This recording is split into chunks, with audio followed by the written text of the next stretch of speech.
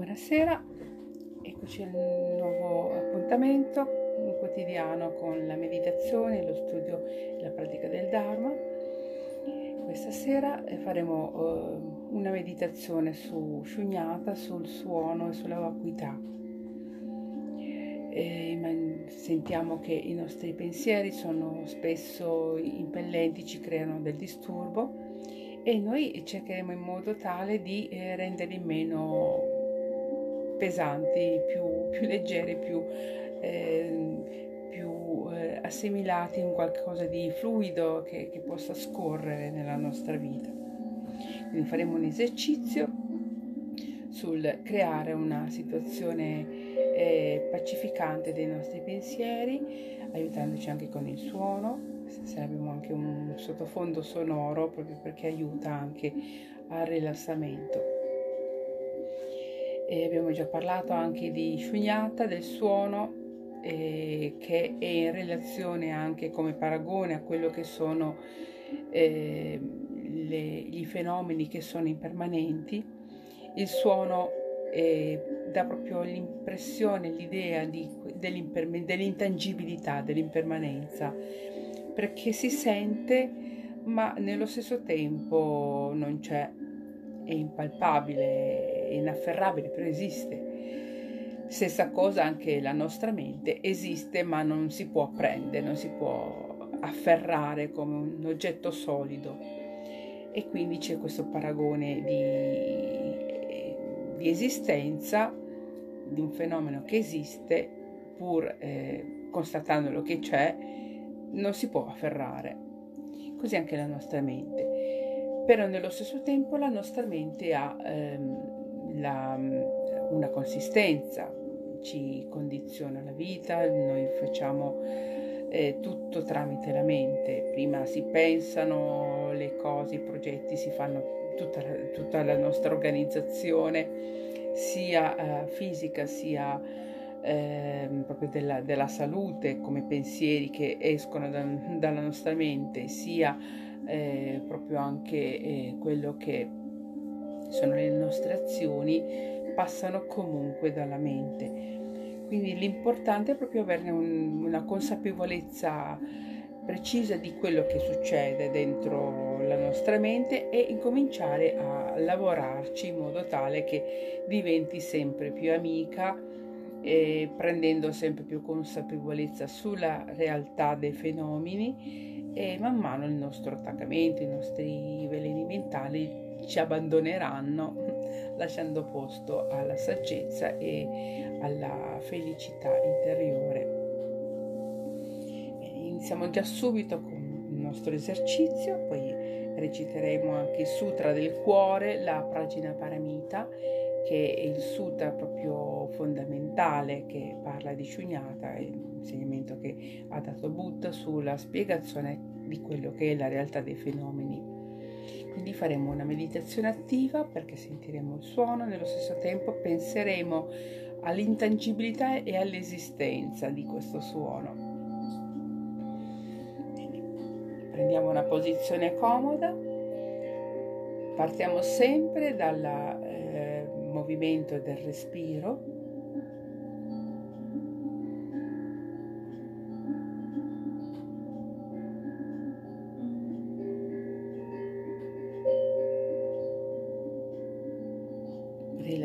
rilassiamo lasciando cadere tutti i pensieri, tutte le emozioni. Portiamo l'attenzione al respiro e poi al suono.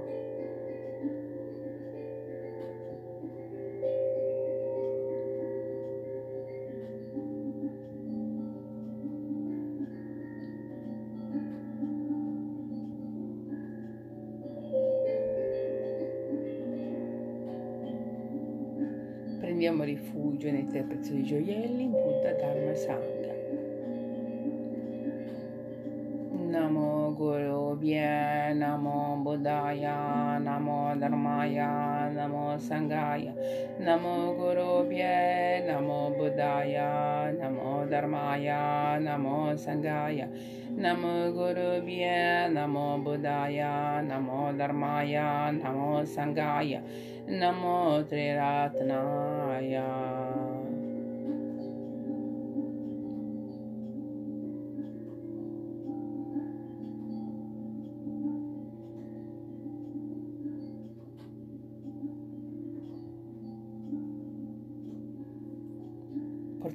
Portiamo l'attenzione adesso sull'oggetto della meditazione che è Shunyata, la realtà dei fenomeni.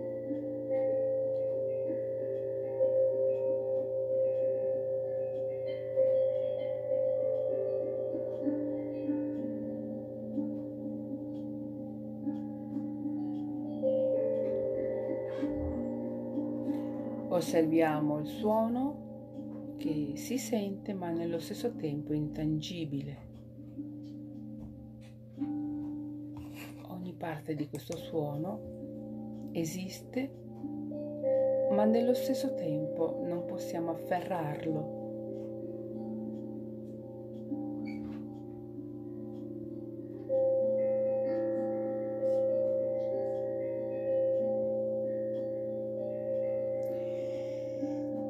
sono delle cause che creano questo suono. Uno strumento musicale, un esecutore e le circostanze perché possa essere eseguito questo suono.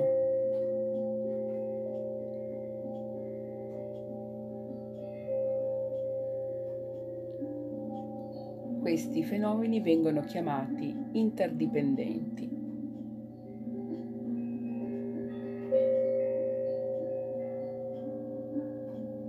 Questo suono esiste perché è interdipendente da cause e condizioni.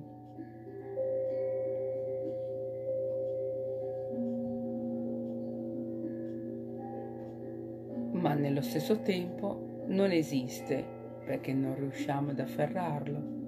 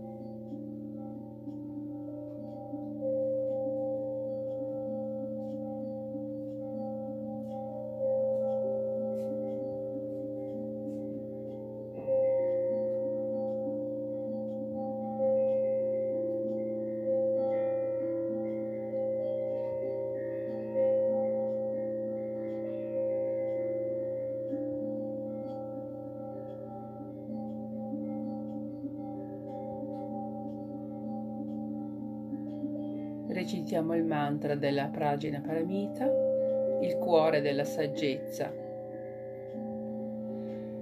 Tayata gate gate paragate parasangate bodhisoa.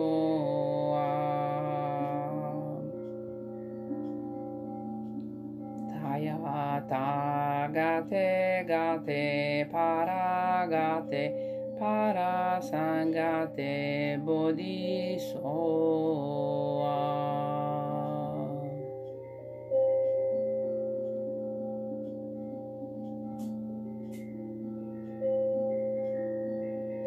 Tayata gate gate paragate parasangate bodhisoa.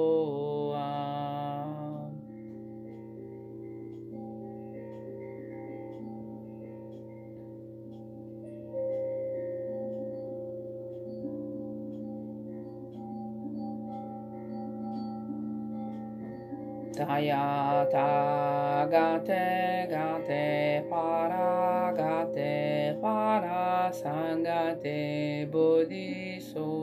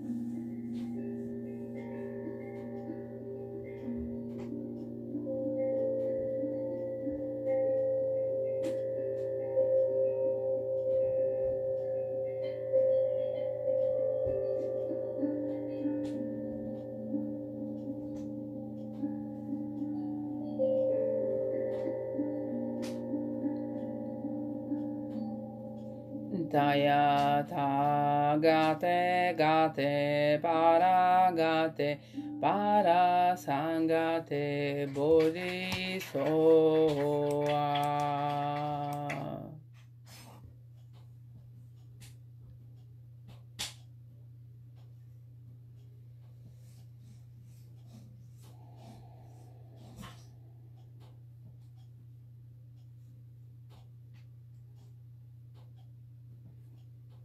Bene.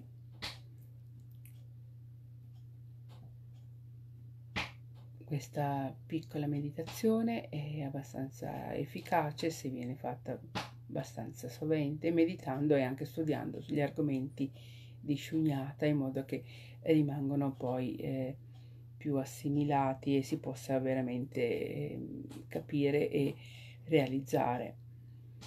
Quindi il segreto è comunque studiare, meditare, prendere insegnamenti, continuare fino a quando questa, questa parte di, di saggezza e di insegnamento che noi abbiamo appreso diventi poi parte di noi e diventa poi un, un tutt'uno con la nostra pratica quotidiana del, del Dharma. E vi leggo ancora la Prajna Paramita, Hidaya, e il venerabile Avalokiteshvara rispose con queste parole venerabile figlio di Sarasvati. O Sariputra, qualsiasi figlio o figlia di una nobile linea che desidera seguire la pratica della perfezione e della saggezza, dovrebbe considerare le cose nel modo seguente. Lui o lei dovrebbe vedere complessivamente che i cinque costituenti psicofisici sono privi di una loro propria inerente natura. La forma è vacua, la vacuità è forma. La vacuità non è altro che forma e la forma non è altro che vacuità. Allo stesso modo, le sensazioni, le discriminazioni, gli elementi di formazione e le coscienze sono vacue. Similmente, Sariputra, tutti i fenomeni sono vacui sono privi di caratteristiche inerenti, non nascono, non muoiono. Sebbene non siano contaminati, non sono separati dalle contaminazioni, non diminuiscono né crescono. Perciò Sariputra in termini di vacuità non esistono sensazioni, né discriminazioni, né elementi di formazioni né coscienze, né occhi né orecchie, né naso né lingua, né corpi né mente, né oggetti visivi, né suoni, né odori, né sapori, né sensazioni tattili, né oggetti della coscienza mentale. Non esistono elementi visivi né elementi mentali o qualcun altro di diciotto elementi e nemmeno elementi della coscienza mentale. Non c'è ignoranza né estinzione dell'ignoranza, né alcun altro dei dodici anelli dell'origine interdipendente. Non esiste il divenir vecchi, né la morte, né l'estinzione del divenir vecchi, né della morte. Allo stesso modo, non vi è sofferenza né origine di tutte le sofferenze, nel suo cessare, nel sentiero che conduce ad esso. Non esiste né saggezza primordiale, né realizzazioni, né mancanza di realizzazioni.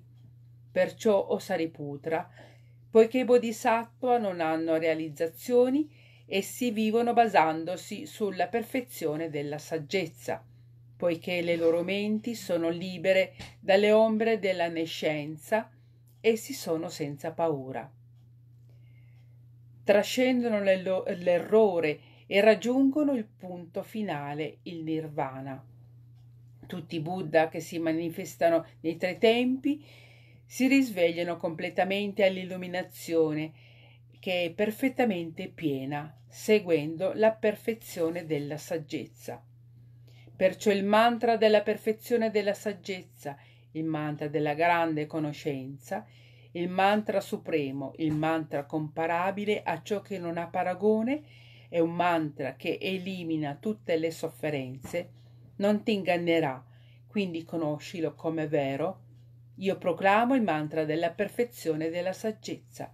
Tayata, gate gate, paragate, bodhi soa. O Sariputa, questo è il modo in cui i grandi bodhisattva si formano nella profonda perfezione della saggezza. Ecco. È molto, è molto corto il testo del, della Pragina Paramita, però è, contiene veramente il succo, il, il nettare della pratica della, del Dharma bodhicitta e shunyana sono i tuoi pilastri fondamentali per ottenere le realizzazioni eh, delle illuminazioni, le realizzazioni che ha avuto Buddha. Quindi eh, è un po' eh, continuativo la ricerca che va fatta su questi due argomenti, studio, pratica, meditazione con vari eh, esercizi e varie, e varie, tecniche per eh, acquisire queste e risvegliare queste qualità della mente. Vi invito quindi a continuare la vostra ricerca. Se avete piacere di sentire anche le altre puntate, questa è già la trentesima, ne ho fatti parecchi di video da quando ho cominciato la clausura delle persone per l'epidemia, ne ho fatto uno quotidianamente di video e quindi potete anche vedere anche altre lezioni, altri incontri, mm, ho fatto diversi tipi di, di meditazioni, gli ho dato anche dei titoli, quindi su YouTube potete proprio un po' eh, pescare e vedere un po' varie argomentazioni che potrebbero eh, interessarvi nella, nello studio e nella pratica.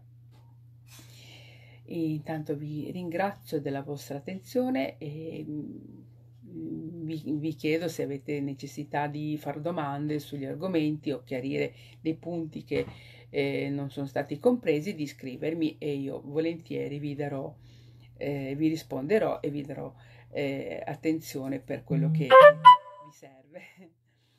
Un abbraccio forte da Maria Rosa Bersanetti, il centro buddista di Belvedere Langhe. Ciao, a domani sera.